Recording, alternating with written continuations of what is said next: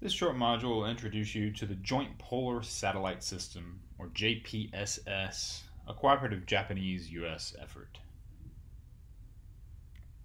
Currently, JPSS consists of two near-polar orbiting satellites in the same sun-synchronous orbit. Suomi NPP, the Japanese satellite, and NOAA-20, the US satellite. Three additional satellites are planned for launch over the next decade. The satellites are in daytime ascending orbits with equator crossing times of about 1:30 p.m. NOAA 20 lags Suomi NPP by about 50 minutes, such that the subsatellite nadir point of NOAA 20 is a little to the west of that of Suomi NPP. The satellites provide high quality data in locations where GOES cannot, such as in high latitudes where the poles are observed once per hour. The addition of future satellites will increase the temporal resolution at the poles. Data with slightly higher resolution than GOES, especially in the IR channels, is also collected in the middle and low latitudes, although unlike GOES, the data is collected in swaths about 3,000 kilometers wide. And what we're seeing here on the bottom is a composite image uh, from the JPSS satellite system over the North Pole, which is located about here. And you can see some sea ice and clouds as well, and uh, land ice over Greenland. The figure here shows how the two orbits of Suomi NPP and NOAA 20 relate to each other. As NOAA 20 ascends, Suomi NPP descends on the opposite side of Earth. The satellites have nighttime equator crossing times of about 1:30 a.m., such that the two platforms cross the equator moving in different directions on opposite sides of Earth. NOAA 20 carries five main instruments, and Suomi NPP carries similar instrumentation.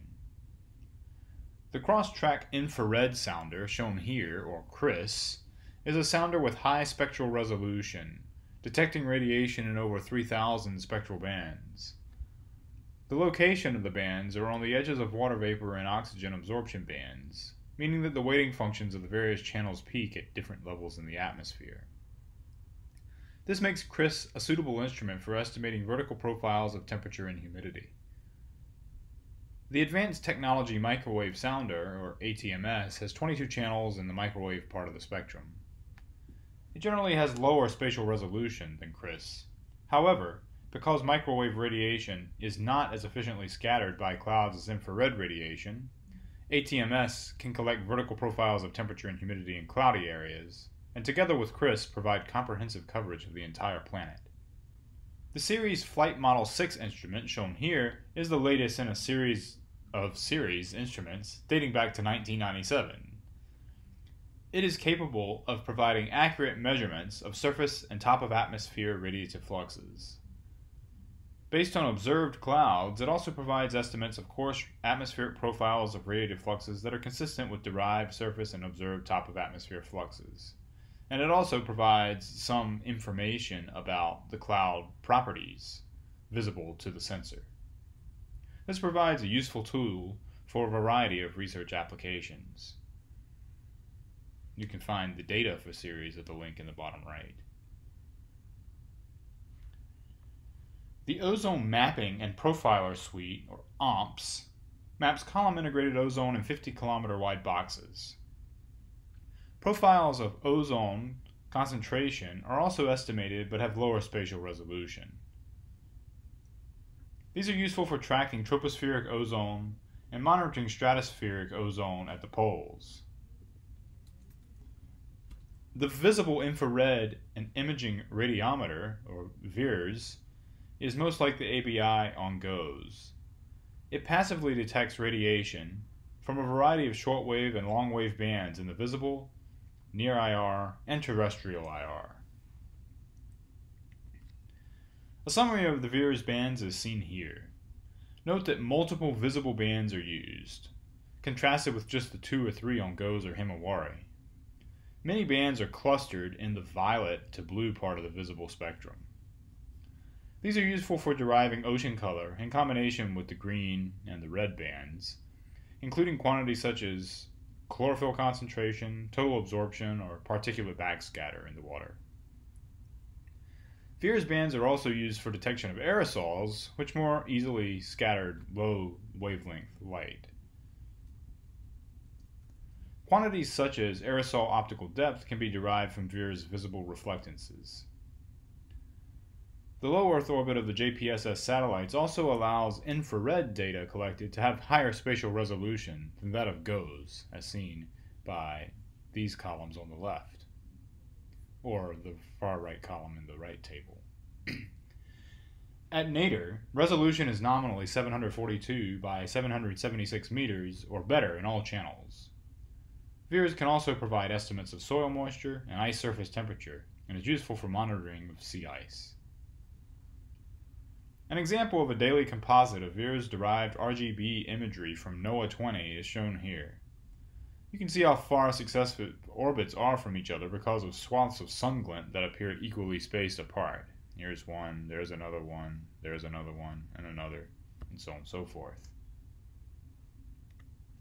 Monthly average global chlorophyll concentrations derived from Suomi NPP VIIRS are seen here. This product is available at 4 kilometer grid spacing. The warm colors, which are mostly near coasts of all of the continents except for Antarctica, represent enhanced chlorophyll concentrations, which is indicative of active phytoplankton. Several dead zones can be seen in blue and purple.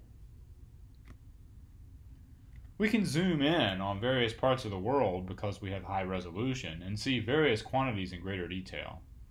For example, enough spatial resolution is available to see differences in chlorophyll concentrations, also shown here, on opposite sides of Monterey Bay, where chlorophyll concentrations in this month, which was uh, March 2020, I believe, are higher on the north side of Monterey Bay. An example of aerosol optical depth in one visible band is shown here. Some features stand out in this snapshot. Saharan dust is denoted by a bright red area over western Africa. Aerosols in northeastern China are also seen, and pollution in northern India is visible. Biomass burning in equatorial Africa is also apparent. Click the link in the slides down here to see an animation of this product over a three month long period in 2020 at the beginning of the COVID 19 pandemic. The JPSS satellites captured some regional variability in aerosols in normally heavily polluted areas such as northern India, although you'll notice that biomass burning persists in many places, especially in South Asia. Brightness temperatures at various bands can be displayed for the CRIS instrument on NOAA 20. Shown here is one example at 11 microns. It is obvious from these two panels that NOAA 20 is in a daytime ascending orbit. For comparison, ATMS brightness temperature is shown at 23.8 GHz. We'll discuss microwave data more later in the quarter, but you may note how brightness temperatures are markedly different from IR brightness temperature. Also, a swath of heightened microwave brightness temperature is present in along each swath. It is a manifestation of sun glint of solar microwave radiation reflected off of Earth. Finally, the total column integrated ozone product is shown from Suomi NPP. Enhanced ozone is seen by the red and yellow colors, mainly along storm tracks in the northern and southern hemispheres, while depleted ozone is obvious near the South Pole in this image. These are just a few of the products that are available from the JPSS satellite system, and I encourage you to look up many others that are available at the websites linked throughout this video.